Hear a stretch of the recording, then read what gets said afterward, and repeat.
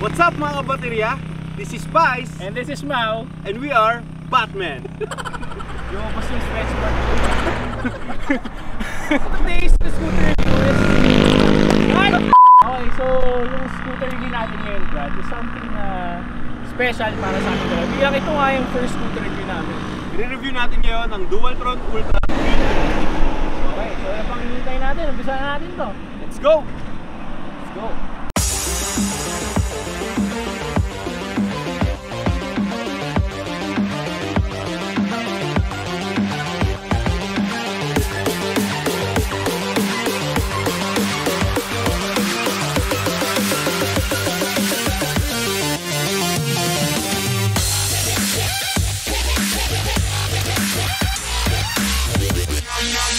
The Dualtron brand has always been the dream scoot of many enthusiasts. Pang endgame ika nga. Dito tulad ng mga usual mong nakikita sa daan. Una, konti lang ang mga shops na nagbebenta nito. Pangalawa, sobrang mahal. Yung iba, ibis na bumili ng ganito ang mahal na scooter, nagmamotor na lang sila. Ang Dualtron ay isa sa mga sikat na scooter sa Pilipinas. Kaya nga, sabi nila, pag naka-Dualtron ka daw, hindi mo na kailangan mag-upgrade kasi nasa endgame ka na. Sabi nga nila po, para iku- ikukumpara mo sa mga sasakyan, parang yung Ultra, para siyang sports car na, para siyang yung Bugatti o kaya yung Lambo, di ba? Parang pag ito kinuha mo, wala na endgame ka na, hindi ka na mag-upgrade. Papagandahin mo na lang siya, ang trip mo, di ba? So, yun, isa lang masasabi namin sa scooter na to. Wow, wow! Ayos yun ah.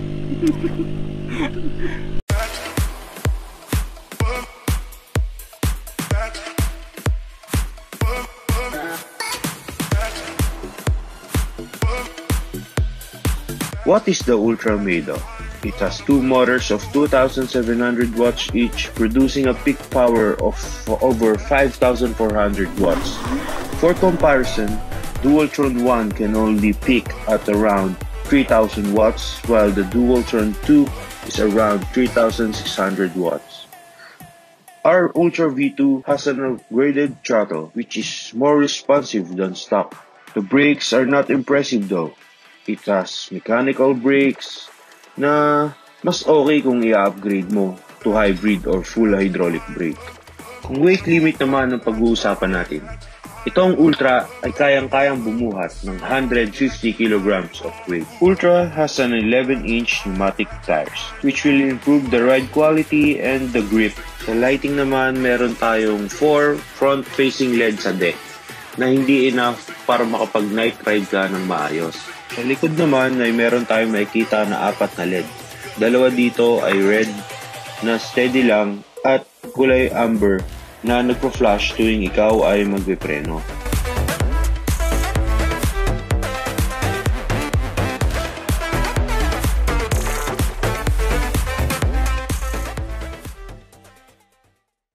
So, itong Ultra, sobrang bilis ng throttle acceleration niya. Lalo na ako nakaset siya sa maximum setting. Yung mga beginner, siguro hindi kayang i-handle. Pero yun, sanayan lang. Medyo tingin ko, ano, pro and con din niya yung hard na suspension kasi medyo uncomfy siya lalo na kung medyo malubak yung daan. Pero may benefit naman yan kaya ginawa nilang matigas yung suspension. Mapa on-road or off-road, nakakapit na kapit yung ano nyo, yung power nyo, yung torque nyo. Another downside ng Ultra is ah, fixed yung ride, yung stem height niya. Kailangan nyo pa ng extender if gusto nyo taasan or palitan yung bar. Pero yun, sana yan lang din. Sa akin, para sa akin, perfect na tong height na to. Pero I think para sa mga mas matatangkad or para sa mga mas maliliit, tingin ko kailangan babaan or taasan yung stem height. Another downside ng Ultra is uh, tingin ko uh, hindi included yung step bar niya sa likod or yung toe hook, yung toe bar niya. Importante kasi yun, lalo na kung high speed kasi yan yung inaapakan ng paa nyo eh para ma makapag-balance kayo yung weight nyo. Pero okay lang din naman na wala kaso yung tendency maapakan nyo yung tapaludo sa likod which is annoying lalo na kung tatama yung tapaludo sa gulong.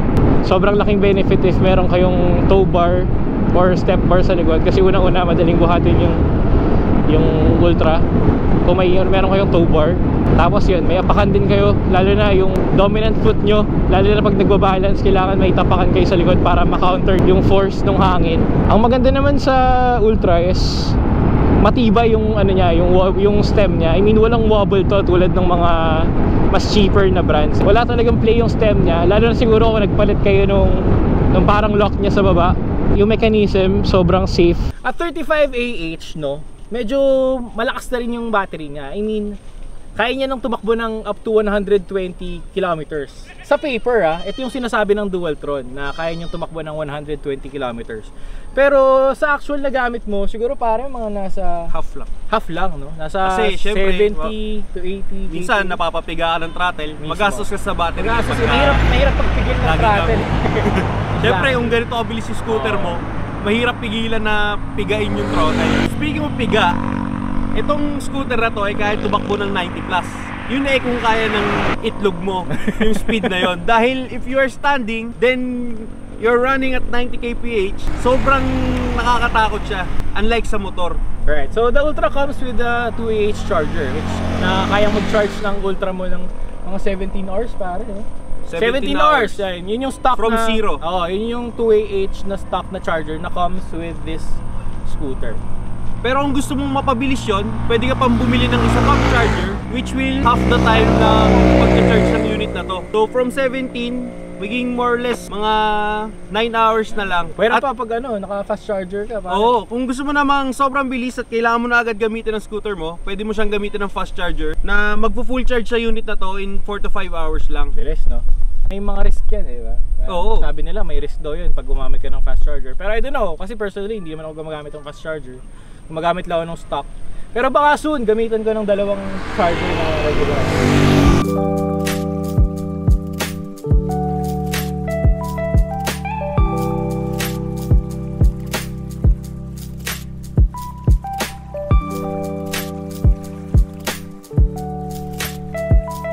Sum everything up, number 1, rideability.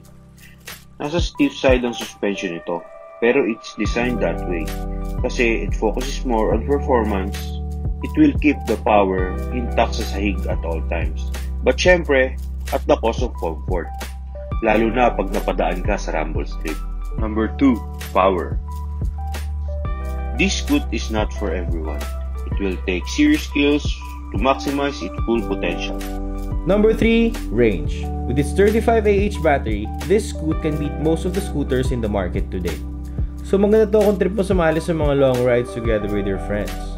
Based on personal experience, it can go 70 to 80 kilometers and that is already on dual motor mode and gear 3 all the way. Medyo hataw na yon. Number 4, portability. This is one of the downsides ng scoot na to. It weighs around 40 kilograms. Literal na may dala kang isang kabang bigas kung bubuhatin mo. Pero sa capabilities naman ito, you don't have to ride the bus or train anymore. Just scoot all the way. Number 5, price. The Ultra is currently retailed at 189,000 pesos. You can get it brand new at that price or wait for a second-hand unit or SG unit for a cheaper price. Yes, that is too steep for an electric scooter. But hey, you get what you pay for. Sulit na sulit naman kasi in the e-scooter world. These kinds of scooters are like sports cars. They break necks.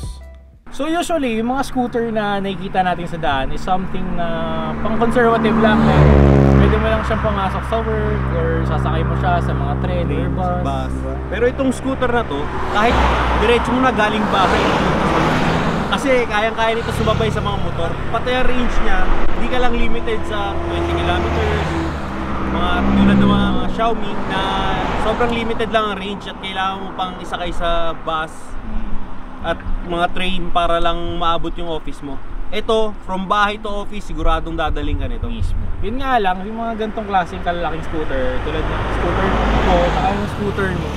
Marami kasing establishment like, toot, na hindi natin sasabihin. Maraming ano establishments na hindi na sila nagpapapasok ng mga ganitong kalaking scooters kasi hindi namin alam yung dahilan. Ba't nga ba pre? so that's it. Uh, thank you for watching and clicking this video. Sana marami kayong natulungan. Sana natulungan namin yung namin mga, kayo. oh, yung mga gustong bumili ng scooters at meron ng idea, yung mga close-minded people, kung ano ba talaga yung capabilities ng mga scooter na ganito. Kita nyo ang potential niya. Mismo. Marami kasing nagja-judge na Mabagal. ganyan yung mga sinasakyan ng mga pulis sa Baguio. Ang mabagal Hindi niyan. yan roadworthy. No, guys, ah, kung habulan lang, kayang-kayang humabol nito sa mga motor. Wag lang sa mga ano, ah, diretsuhan. Wag lang yung mga duluhan kasi kung ano lang, kung short travels lang, kayang-kayang humabol in terms of speed. Sobrang yung mga lalo na ultra, sobrang bilis nito. Diba? So yun, if na-enjoy nyo itong video na to, if uh, ano ba, if may comment kayo or something, suggestions, suggestions, and uh, sana if gusto nyo makita yung range test ng scooter na to. Tama. diba? Kung gaano kalayo ba yung. Gaano kasi, yan, kasi yan talaga yung mga la- lagi nagtatanong eh, sa mga traffic. Brad, Gaano ba kalayo Gaano ba kalayo yung kayang takbuhin ng scooter mo? Gaano ba ka- katagal yung ilang minutes ba yung tinatakbo yan? Parang mali yung tanong nyo eh. Dapat ang tanong nyo, gaano ba kaya kalayo yung kayang takbuhin ng scooter? Well, hindi po talaga namin nasubukan, no? Pero yun, gusto na. Gusto nyong makita Oo. gaano kalayo ang tipid mode dito sa scooter na to, kami na ang magpapakapagod dahil sobrang hirap lubatin itong scooter na to, Oo. 35 AH, Let's all figure figure it out together. di ba? 120 kilometers on paper. So, di pa namin natatry, i-max yun. Kung gusto nyong makita yan on video, sabihin nyo lang sa comment section. Okay, so if na-enjoy nyo to, please hit like and uh, click nyo yung subscribe button and yung notification bell, di ba? Para lagi kayong updated sa mga ganap ang ingay po! so yun, ayun, para lagi kayong updated sa mga videos namin kasi nag-upload kami every week. Ah, maraming salamat. Kita-kits sa daan mga kapatid. Once again, this is Spice, And this is Pao and we are Batman.